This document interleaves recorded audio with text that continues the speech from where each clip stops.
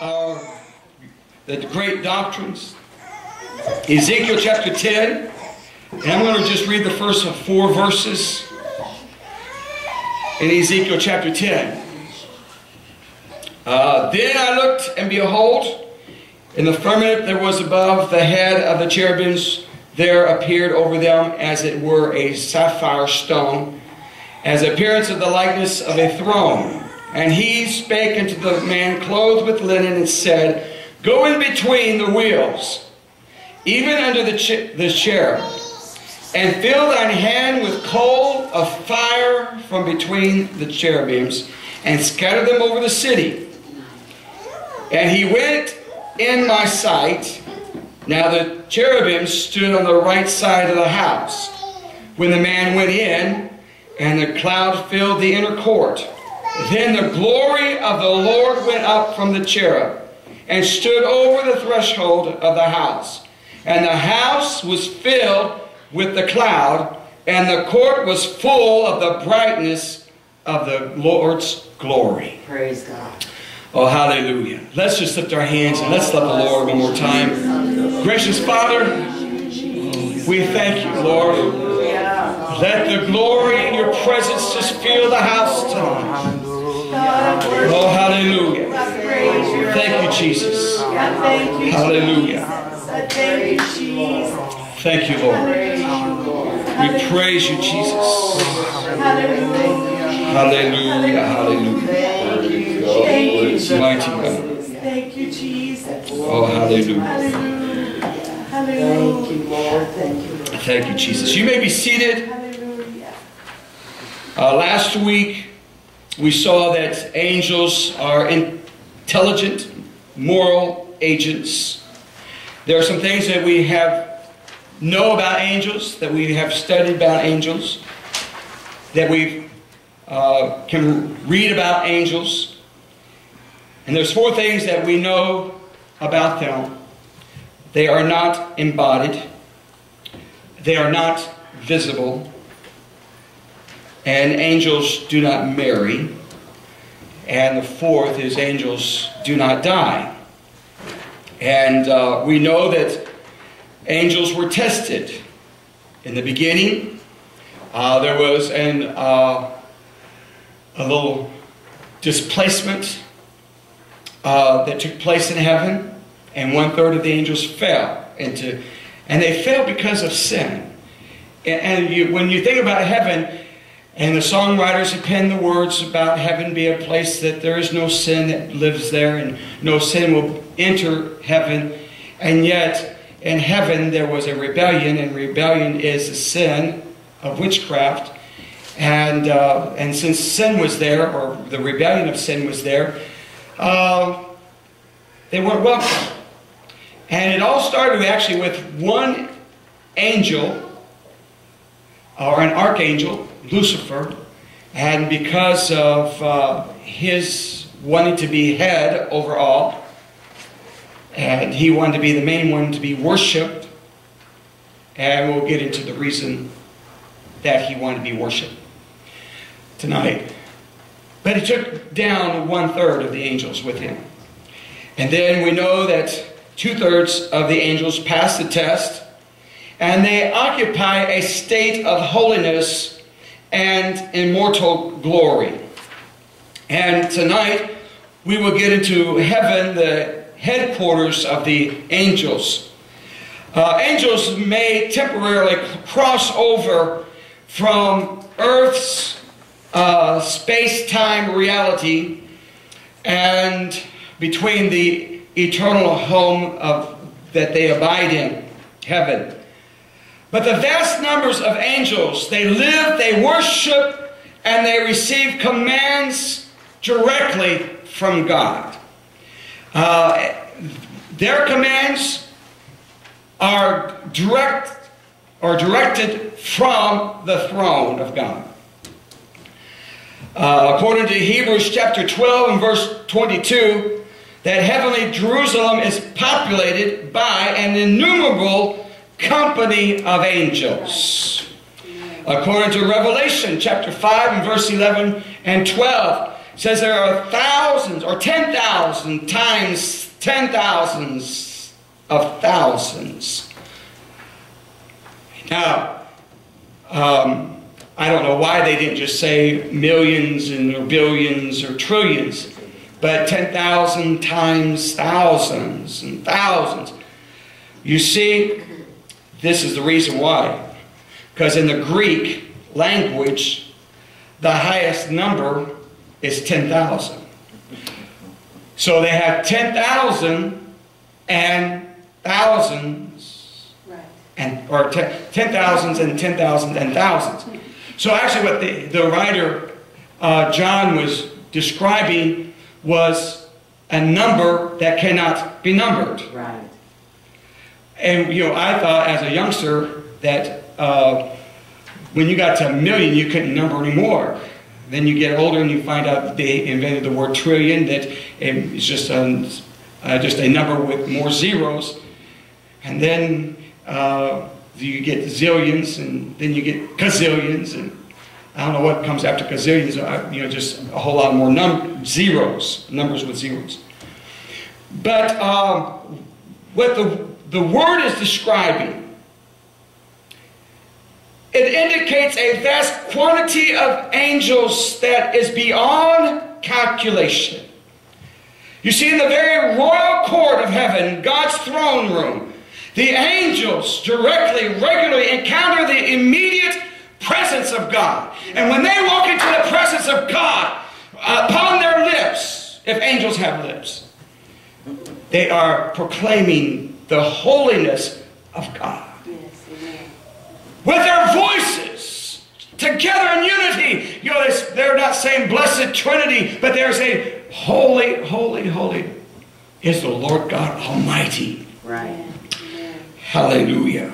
Hallelujah. Uh, someday, we redeemed humans shall enjoy that blessed experience when we can also join the angels around the throne of God, Oh, yes. lifting our voices, crying, Holy, holy. And all of a sudden, as the, the, the redeemed ones burst into singing, the angels have to fold their wings and take a step back because the church begins to sing a new song.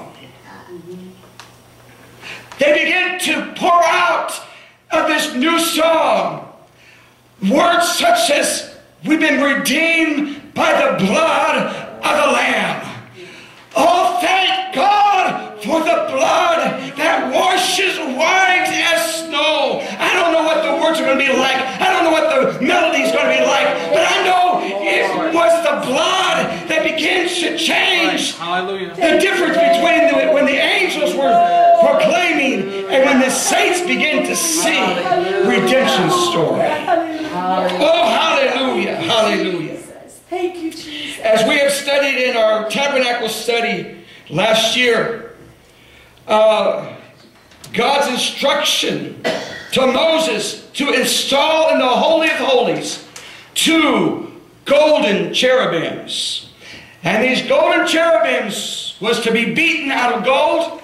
They were to be facing, with their head down, looking upon the uh, mercy seat, their wings kind of arched over them represents a place of God's holiness. And under the mercy seat, the Ark of the Covenant, where God's presence dwelt. The figures of the cherubims were to be embroidered upon the fabric that hung on the veil. The veil, the lace veil, or the linen veil, also they were to embroider uh, cherubims or angels upon that cloth of the tabernacle. Angels constantly worship Yes. God. Yes. Angels never cease praising the Lord. Amen. Uh, the four beasts of Revelation, there are likely angelic throne attendants, and which Ezekiel described as living creatures or cherubims. In Revelation chapter 4 and verse 8, it says, Rest not day and night, saying, Holy, holy, holy, Lord God Almighty, which was and is and is to come.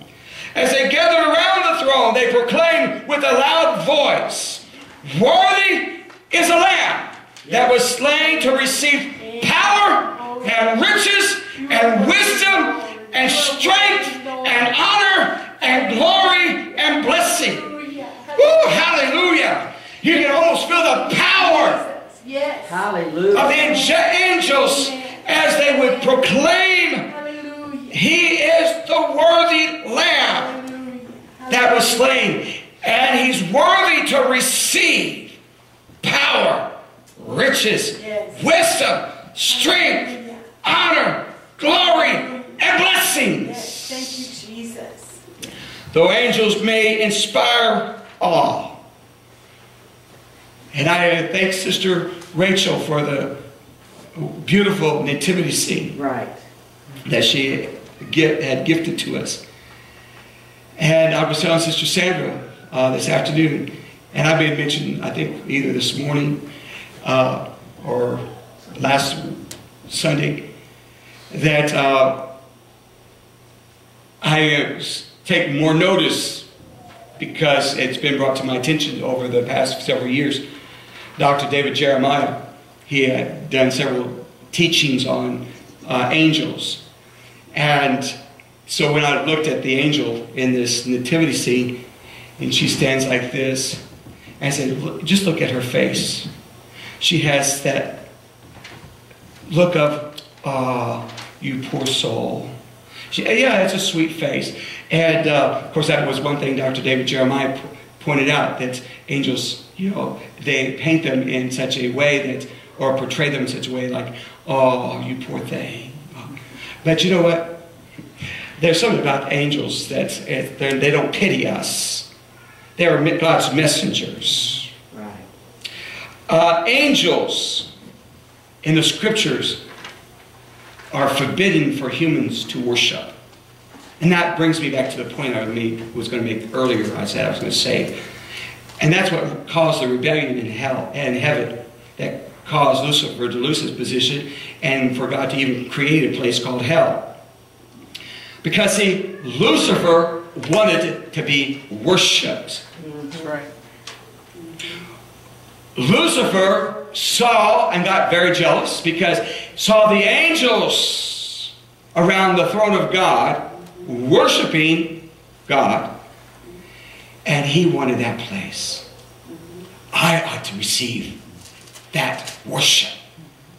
I want to be like the Most High. I want to have that seat to receive all kinds of praise. We got to be careful, uh, even as human humanoids, that we don't find a place a place of sitting in the uh, to receive worship or praise. Now, there's nothing wrong with a congratulations, a word of praise, you know, uh, to uh, recognition. But when we feel like we have to live on the applause of men Right. and ladies, that everything that we do is so good, so right, and that people just bow down to us. You know, we stand in a very terrible position. Right. But see, that's, you know, the angels are not to be worshipped. Uh, angels render service to Christians and to do God's bidding. Uh, angels are under the authority of Jesus Christ. They serve as his attendants and messengers, delivering uh, divine judgments and decrees as well as protecting God's saints.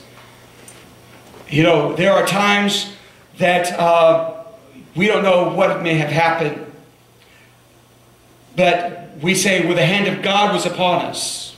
God's hand of protection was about us. That is true, and we can say, you know, the angel of the Lord was there protecting us. Right. Because perhaps God from the throne room expedited angel number 99 down to our need at the hour. Uh, there was a, an incident of an individual, uh, they're not, I'm not sure what happened, they're still not sure, uh, but there was like uh, two vehicles and uh, they were in the center. And all they could do was they saw these two vehicles come like this, and they were trapped in, in the middle. All they did was close their eyes and say, Jesus. Right. When they opened their eyes, there was no wreck. Uh, everything was normal. You know, uh, whether it was angels that came down and protected them, so there was no harm done. It was the miraculous, or if it was the hand of God that just picked them up and just Right. moved them out of the way.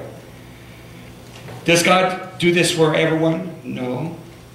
But there's some. But there's a purpose in why God's Yes. uh, dispatches His angels, His servants, uh, to our need. Uh, cherubims were dispatched to guard the entrance of the Garden of, Eden when Adam and Eve was kicked out of the garden. There was a flaming cherubim that was positioned at the, uh, the, the entrance of the garden, and he just went around in circles, protecting that garden until it was destroyed uh, by the overgrowth of weeds and uh, other things of life that destroyed the garden. Uh, an angel was prepared to slay a wayward prophet called Balaam. Prompted by Daniel's constant supplication. You know, for 21 days, Daniel prayed and interceded for a need. But uh, Daniel was was uh, met with by an angel, and this angel had a name. It was Gabriel. Gabriel arrived to bring Daniel skill and understanding. Sometime later, the same angel was dispatched to meet Daniel again. Uh, and then Gabriel was also dispatched to appear before Zacharias in uh, Luke chapter 1. Because as Zacharias was uh, performing some duties, Gabriel came into where Zacharias was and he introduced himself. He said, I am Gabriel that stand in the presence of God and am sent to speak unto thee and to show these things, or show thee these glad tidings. He uh, made an announcement to Zacharias about him having a son. And Zacharias had a little unbelief, a little doubt. And Gabriel didn't appreciate that. And he said, okay, I'll, I'll give you, I'm going to give you a sign. Until that child is born, I'm sorry, Zacharias, but you're not going to be able to speak a word. So you might as well get yourself prepared, get you a, a, a pen, a, a piece of paper, because when you walk out of this place, you're not going to say anything until your son is born. Mm-hmm. And it came to pass in just a few moments, few se- split seconds, he went to try to say something to Gabriel, and guess what? Before Gabriel had a chance to move out of the uh, that little inner court, in the Holy of Holies, uh, there was no sound. And I could see Gabriel just saying, See, I told you. I told you. Angels have a way to, to love to do stuff like that. But see, on another occasion, there was a different angel that, and his name was Michael. And he appeared to Daniel in a vision. After explaining he had been held up by a fierce uh, prince of Persia, uh, Daniel received a promise. Dan- Daniel received uh, his message. It was revealed to Daniel the destiny of God's people. At other times, angels functions as heavenly tour guides, leading prophets uh, through visionary experiences and showing them the meaning of the mysteries of things. Uh, we know that John the Revelator, he wasn't literally taken into uh, the heaven, but he was given a vision that took him to a place, to the New Jerusalem. He was shown around heaven. We can we have the book that uh, we can read and get a glimpse, get a little taste of heaven. And then we come into a church service and we begin to worship the Lord, and His presence comes down to meet us where we are, and we get another taste of heaven. Oh, hallelujah. Heaven is a beautiful place, filled with glory, filled with grace. Oh, and I want to go there. Don't you want to go there? Oh, hallelujah. Thank you. Hallelujah. Uh, angels have tended to appear on earth in greater frequency during significant uh, juncture of history. It seems that God has wanted to underscore the importance of certain events by requesting angels coming down to be in attendance and to uh, deliver the critical message. Uh, during the time of the patriarchs, we see that Hagar uh, had experienced two angelic beings. She had two visitations. The first time was when she and her uh, young son was, or first time, pardon me, was the first time that she was sent out of the, presence of Sarah. And of course, Abraham intervened and brought her back home. But the second time, she had uh, an angelic visitation. This time it was with uh, uh, Hagar and Ishmael. And uh, they were sent out, and she thought she was going to lay down and just die. But an angel visited her in her distress and said, Thou shalt not die. And began to give her a promise that God has seen her tears, God has heard her request, and Ishmael would also be a great nation. And we, of course, we know that because of this great nation, Israel and the Arabs have been at war with each other ever since. Uh, we know that the angels visited Sodom, before Lot's rescue and the city's destruction. Uh, angels spoke to Abraham about this uh, not sacrificing Isaac. Not to talk him out of it, but to stop him. It was the angel of the Lord who grabbed his hand that had, had held the dagger that was going to take the life of his son. And the angel said to Abraham, Wait a minute. Don't do your son any harm. That's right. We see that angels appeared to Jacob in Bethel as he was on his way to uh, an uncle's house, as he was fleeing for his life. And we see that it was in the same place on his return some 21, possibly 22 years later, as he was homeward bound. This time with his two wives and his children and his servants and all of the uh, worldly goods of his wealth as he was going home. But he was desperate. I need an answer from God. I want to know if all is well. Uh, how is it going to be with my brother? And we know that uh, Jacob had an encounter with an angel of the Lord, and he left a different man. Uh, likewise, angelic activity increases dramatically across the time frame uh, preceding the birth of Jesus Christ, the Messiah. We see that John the Baptist had an encounter with an angel. Angels also made their appearance during Jesus' birth, during his infancy, during the temptation. You know, those three, we know the three temptations of Christ. Each time the angels of God came down to minister to him. See, I'm, I'm so thankful that there are ministering angels in our hour of greatest need when we feel destitute, depressed, or oppressed, or all stressed out because of life, and we get in a room, sit down, and all of a sudden we sense a presence, a presence of God. Possibly it's the angels from the presence of God came there to.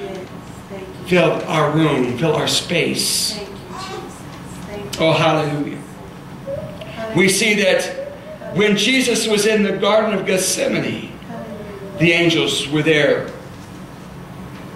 During resurrection, we know that the angels were there in the garden tomb. After all, Mary and the other ladies, they thought perhaps it was the gardener. But you know, that's one thing I've never seen in a cemetery uh, the gardeners dressed up in suits. These angels or these gardeners were dressed in white apparel. And, probably not your ordinary gardeners. But these women mis- did mistake them for gardeners. Ask, tell us, please, sir, where did they take the body of our Lord? And then they did this strange thing. It says, uh, why do you seek the living amongst the dead? Oh, you- aren't you glad for the good news? Yes. Yo, we see that the angels were there at the graveside. We also see the day that he made his ascension back into glory. The angels were there. Yes. Yes. Oh, hallelujah. Hallelujah.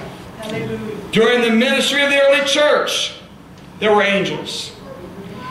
Go through the book of Acts and look how many times there were angels that made their appearance in the form of, of individuals. There was an angel that even had the keys. He said, uh, Hey, Peter, he threw the sandals at me. Peter, get your sandals on. Come on, boy, get out of there. You know, they, they probably were all feminine. I, I can imagine uh, an angel like, uh, what was his name? Uh, that went down to save Praise. Clarence. But, let, but let's give him a little deeper voice. Hey, Peter, let's get out of here. That, it's like, wait a minute, that sounds like one of the Roman guards, you know. But when Peter stood up, his chains fell off. When they got to the city gates, he went and see where they took the key and unlocked the gate. And, but as he got to the gate, the gates were already starting to part open. We know that there was an angel of the Lord that visited Peter when he was on the rooftop taking a nap, saying, Guess what, Peter? You better get up. Because there's a couple men down the door, and you're going to go with them. Because there's a man named Cornelius. Now, whether they told him that, what the man's name was, but there's a house that you're going to minister to. He had this weird dream about, vision about all these unclean things. And he said, No, Lord, those are unclean. And God said, Wait a minute, don't call what I've cleansed clean. Preparing him for a greater ministry. Perhaps the same hour, the same day. No, it couldn't have been because Cornelius was told to go send them. So it had to be a few days before. The angel made appearance to Cornelius and who said, You know what? God has heard every prayer that you prayed. God has seen. Maybe that angel had a preaching spirit. God has seen every nickel and every dime you put in offering. Oh, let me. Let's go a little further.